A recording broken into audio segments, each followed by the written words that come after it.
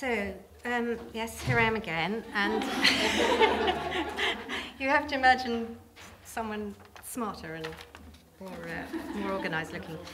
Um, anyway, it's, it's, it's very, you know, it was great when, when Lyndsey sent through this because I just thought, oh, it just, if, if some of you are kind of boggling your minds about chemicals and the way they work and everything, this does, um, this will be helpful.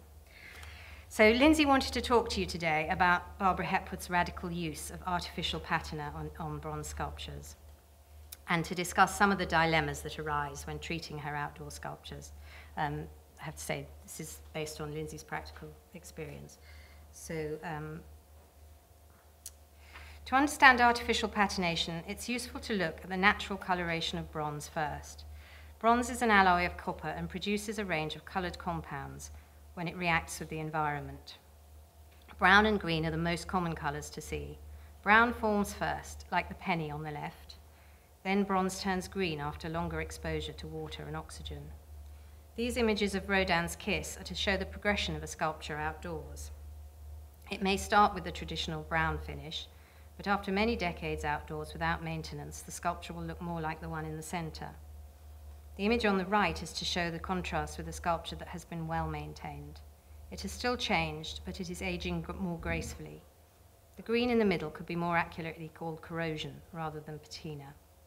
The surface of the metal is dissolving away, and the black and green streaks are visually disfiguring to the form. Artificial patination can mimic the effect of exposure outdoors, but much more quickly. Instead of leaving a sculpture out in atmosphere for months or years, you can achieve the same effect in hours. It starts with cleaning the bronze. You can see the stages of this on the left. Uh, or does she mean the right? Can't see from here. Um, the top left shows investment from the mould still clinging to the surface. Sorry, I have a problem with left and right. No, she has got it right, hasn't she? It's me. Um, so, yes, that's the top left. Um, so the investment from the mould is the sort of white stuff that you can see um, clinging to that. This image shows the bronze after sandblasting to remove this, and at the bottom, fine abrasive surface finishing to create a more reflective finish. So that's the three slides on top of each other on the left. Reactive chemical solutions are then applied to the surface, which can be done either hot, like the images shown, or cold. So um, that's where you see the blowtorch there, which is heating the bronze. A huge range of colours are possible using different chemical mixtures. Further effects can be created by layering different colours and concentrations. Patinas may not just be chemical. Foundries may also add coloured waxes, inks or pigments. Whereas most artists have used chemical patina on bronze as an all-over treatment in the past, Hepworth is less bound by tradition and uses the technique in a form, far more inventive way so that she can use colour as freely on her bronzes as she does with her other sculpture. Unlike many artists of the time, she communicated closely with the foundries she worked with, encouraging them to produce new and specific colours for her so that she could achieve the effect she wanted. She then sometimes worked on these patinas herself when the foundry returned them to her. So this is, um, there, there is documentary evidence for this, which um, I should have mentioned in my talk actually. Um, most of the sculptures shown here are intended for display indoors, and so they remain in good condition, provided they are well looked after. So yeah, there's a pretty good range of different finishes on those. But what about the sculptures meant for outdoor display? Hepworth used some extremely unusual colours and effects on her outdoor bronzes, and it is difficult to think of another artist at this time who was colouring bronze in such an innovative way. In these early images of three obliques walk in, you can see some extraordinary stippled effects with green and white patinas that no one else was using at that time. These have been sharply contrasted with the reddish brown edges and highly polished inner surfaces of the rings. But to look at these, Weger, oh, oh, hang on, I think she means me to go to the next slide. Yes, so same sculpture after years of weathering. But to look at these weathered versions around 45 years later, you would never know that those colours were there. The archival images shown in the previous slide, so I'll just go back just to show that contrast. are therefore enormously important to help us gain an understanding of artists' intent.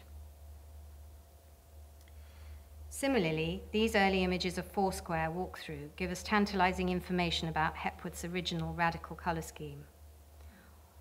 Although the color values of the slides vary significantly, and again, you know, that going back to Laura's point about the photographs, um, and you have to kind of be aware of the different film and different effects.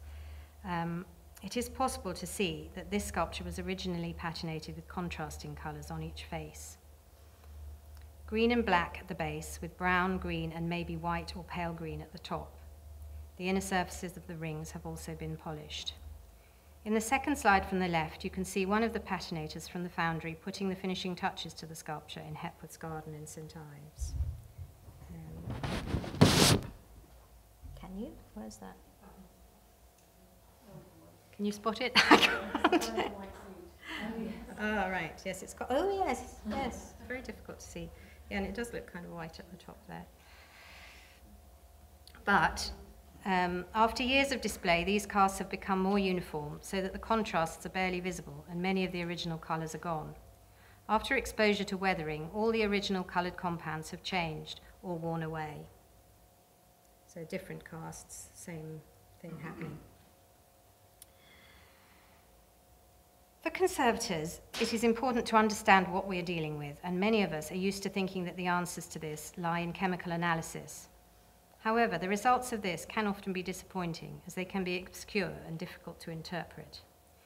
In truth, learning about practical processes can be far more illuminating. Sometimes the best way to really understand something is to do it yourself, which I would totally endorse as my recent patinating experience um, proved.